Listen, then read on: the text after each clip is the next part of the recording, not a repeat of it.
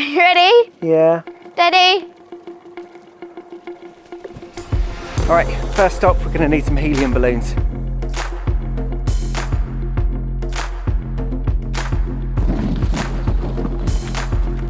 Success!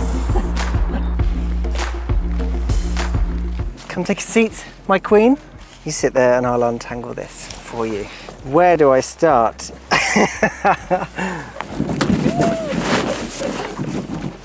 oh no, you're taller than me, that's not right. In today's video, we're going to be doing some levitation photography, and if you don't know what that is, here are some examples.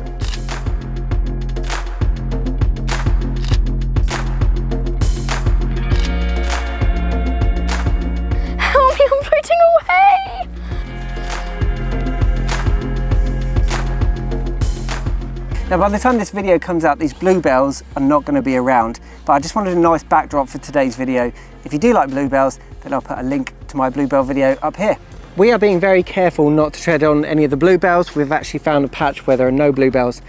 So we are being respectful to the woodland here. Second thing is, if you're not familiar with this young lady, this is Chloe, she's my daughter. Today, she's my assistant, she's the model, and she has actually helped me out on a few other YouTube videos before. So welcome back to my channel, Chloe. Thank you! I think the comments from the other videos that you were in, everybody was just saying how brilliant Chloe is. She is so entertaining, especially when she's had loads of candy floss. Today we are working with Chloe and the intention is to get two shots. One of the levitation shots, she's going to be standing on the stool and that's why we've got the helium balloons because we're going to recreate a scene where it looks as though she's being lifted up to the sky with the helium balloons. The second shot, she's going to be lying horizontally on the top of the stool and then using Photoshop, we're going to remove the stool and it's going to look like she's just levitating off the ground. So that's the intention. We've done this before. About five years ago, we came to this exact same woods and we did the levitation photography with Chloe. So this is the first time we've done this. We know the technique, we know the mistakes that we made before. So I'm gonna share with you today my tips and tricks on how to get this right and to avoid some of the problems that I came across the last time I did this. So let's talk about settings. In order for this to work, you want everything to be as consistent and manual as possible. Ben, tell me what they need to keep exactly the same. Now, first of all, we're going to have to assume that that sunlight is not going to change dramatically from the beginning and the end of these photographs of this video clip. So in order for this composite video to work, you need to keep everything the same. So that includes focusing, put your lens to manual. You do not want your camera and lens focusing back and forth. You want your shutter speed to stay the same. You want your aperture to stay the same. You want your ISO to stay the same. And you want any color profiles or white balance to remain exactly the same. That is how you create a perfect stitch. Now, if you can pre-visualize everything in Photoshop, it's gonna make your life much, much easier. So just think ahead to the different layers you're going to have. As a minimum, you're gonna have two layers. You're going to have the base layer, which is the scene, the background without your subject in, and then you're gonna have your top layer, which is going to be your subject with an IKEA stool, and then you're going to raise the stool using some blending modes and things like that, which we'll get into at the end of this video. If you were to shoot up towards your subject and they're standing on a ladder, can't see the soles of their feet. That's going to be obviously on the top rung of the ladder. Therefore, you cannot Photoshop out the rung of the ladder and reveal the underside of their shoe. So you've got to plan ahead. When you're looking at your scene, think, okay, if I erase that object, what's going to be revealed behind it? Let's talk about the photography. I create what I refer to as a base image at the beginning and the end of the shoot. So let's just say you take a base image, then you put your subject into the frame and you spend two or three minutes posing them and taking the photographs and then the light may have changed. You may not have noticed it, but over the course of two or three minutes, it could have changed dramatically. Therefore, your base image is not very close to the images of your model anymore.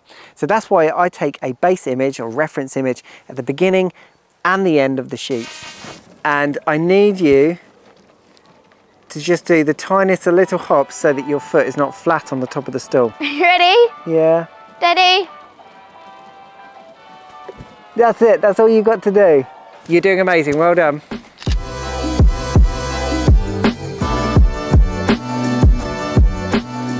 So as you can see, it's not easy. Chloe is 10 years old and she still felt a bit uncomfortable about balancing on one leg and kind of jumping up. So if you're gonna do this with your kids, just make sure they're absolutely comfortable jumping from a height. Now let's have a look at the second image. That's going to be using the IKEA stool again and then I'm going to get Chloe to lie down on her back and then I'll do one with the balloon and then one without the balloon and then I can just pick and choose which one I prefer. So one of the important things I've made sure that Chloe is wearing a dress which has got some flowy elements to it and the reason for this is I want some of the fabric to overlap the stool because if you didn't have that and you were just wearing a top or a jumper where you lie down on a piece of furniture your back would be flat. Last time I did this I was trying to clone out the IKEA stool and the back of Chloe was just perfectly straight. Didn't look correct. So I had to add creases. I had to add some imperfections so that it didn't look like she was lying down on a piece of furniture. There, there will be spiders. We are outside. It's okay yeah, just so that your bum is overlapping the edge so that I can't see the flat section and then it's okay for you to be losing your balance because you're levitating I'm gonna go and take some photos are you ready?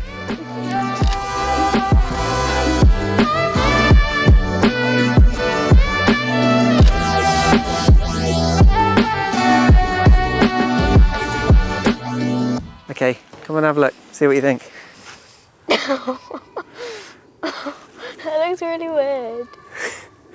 It Good. really looks like I'm flying without the stool. Yeah, well imagine when I remove this stall in Photoshop afterwards. All right, one more then. Okay, not the top step. I don't want you being taller than me. That's not allowed. I'm the star of the show. Are you the star of the show? I think that that was quite successful, but we have not edited the photographs yet, so that is still to be determined. But the technique is right from your perspective, from the model's perspective. One to 10, how difficult was that?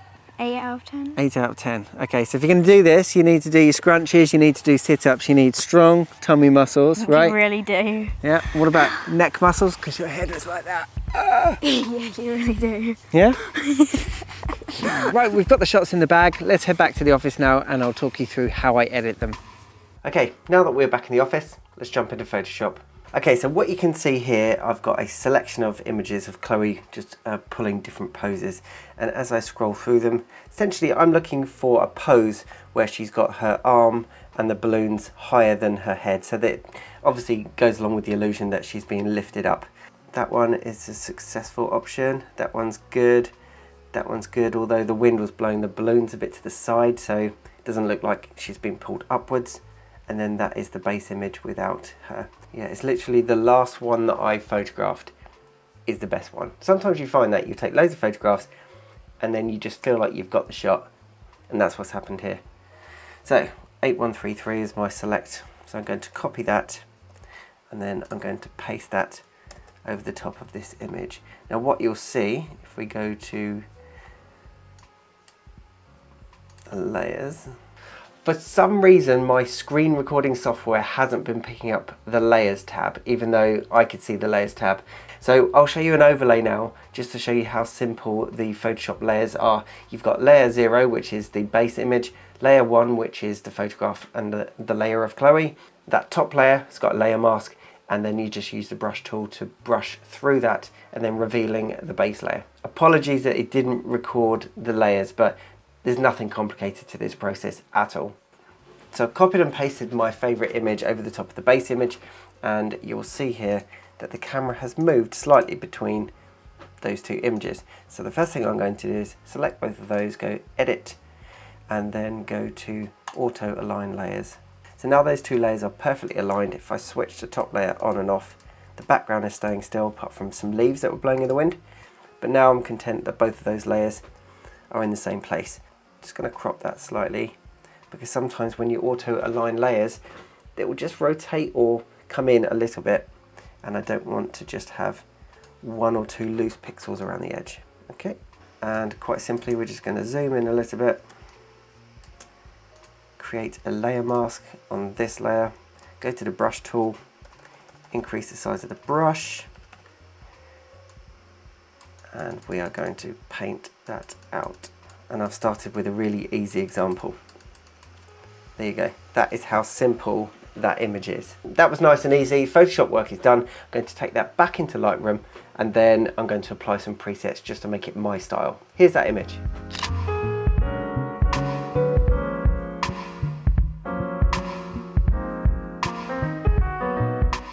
Right, now the second image is a bit more tricky and I'll show you the mistake that I made. This image really shows you what the problem is and this is a mistake that you should definitely avoid.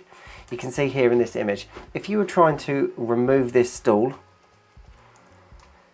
there is nothing behind this once you've erased it. It's not going to reveal the arm because there is no photograph of the underside of her arm. So if you're doing this, avoid this problem. So you'll see in the subsequent images, Chloe's lifting her left arm up and then you're not going to run into the same problem.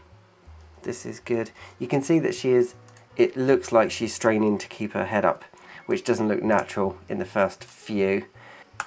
I've made a decision. I'm going with this one. Okay. I like the pose and I think this image could work really well. So let's copy and paste that over the top of the other image, which is the base image. Exactly the same process as I did with the first image, but this one's a bit more complicated. We've got to do a bit of a, a tighter, tighter brush around Chloe's arms and body. Right, so we've added our layer mask, go to the brush tool, and at the moment I've got my brush set to a soft edge, just because the majority of the brush work that I do is brushing in skies and things like that, where you don't want a harsh edge So decrease the size of the brush.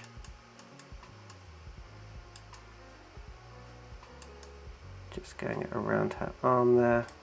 There you go, that looks good.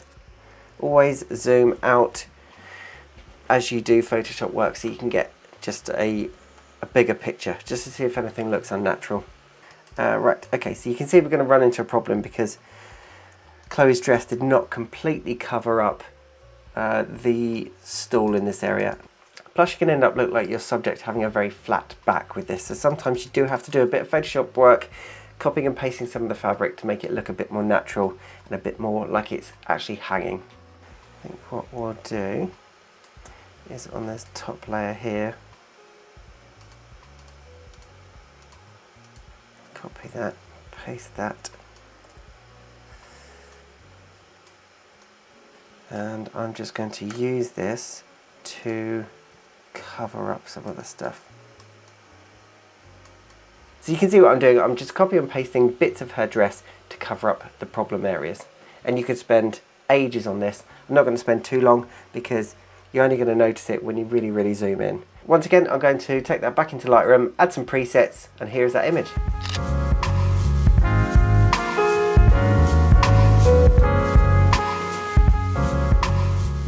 Right, the next image I think is the most fun because we've tied some balloons around her waist which is kind of adding to the illusion. So looking at the different options we've got here, this one she's smiling so I don't think that kind of suits the mood of the image. It's supposed to be kind of mysterious the fact that she's levitating so maybe she's hypnotized or she's asleep so the idea that she is smiling or laughing is probably not the right approach so we've got two images here this one or this one very subtle difference We'll go with this one because the balloons are more upright. It's a bit of a windy day, so actually the balloons are getting thrown around quite a lot.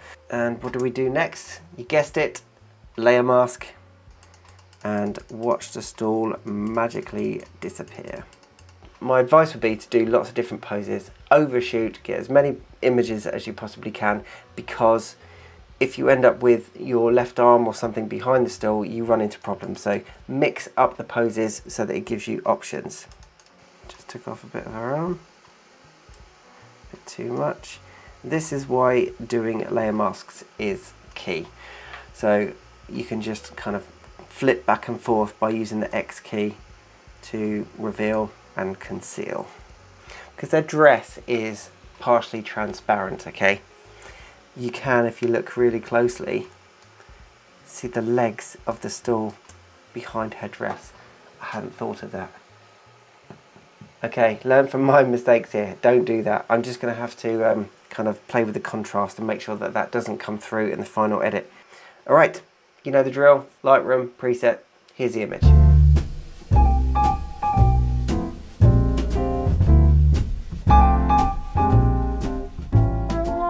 Okay, and that is how you edit these photographs back to the younger me in the woods. So the techniques I've been showing you today apply to any sort of digital manipulation composite images you're thinking of. I'll show you a few examples here. One of them, I essentially removed my torso just by having the background didn't move the camera at all, kept all the settings exactly the same, and then I deleted parts of me to create this image.